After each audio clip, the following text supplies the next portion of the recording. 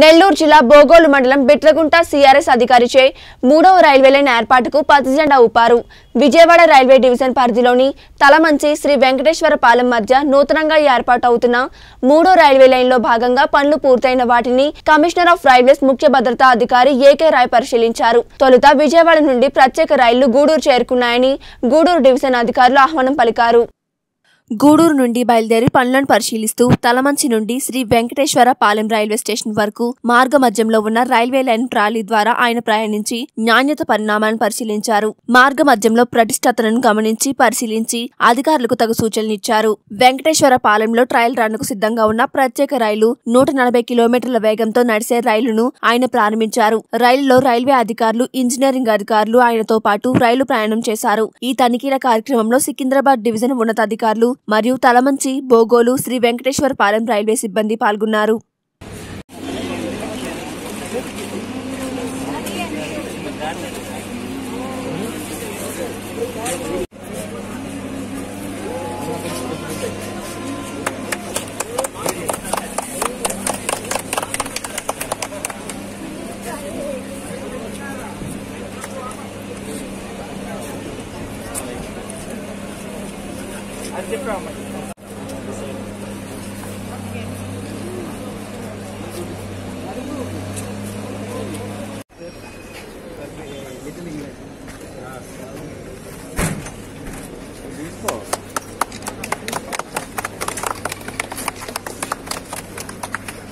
కొద్ది కొద్దిగా సైడ్ ఇస్తారా సైడ్ ఇవ్వండమ్మా భలే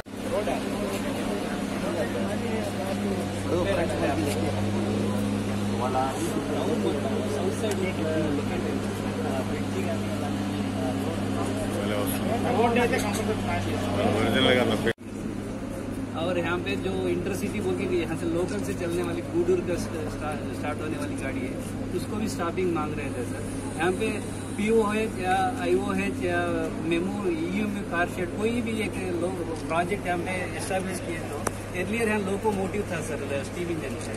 तो उसके अल्टरनेटिव में यहाँ पे कुछ इंतज़ाम कर दिए तो बहुत सारा सस्ते में यहाँ पे इंडस्ट्री रेलवे का इंडस्ट्री चालू कर सकते हैं सर तो हमारा मोटो है कि यहाँ पे एक इंडस्ट्री रेलवे का इंडस्ट्री होना चाहिए। तो आपसे आपसे हम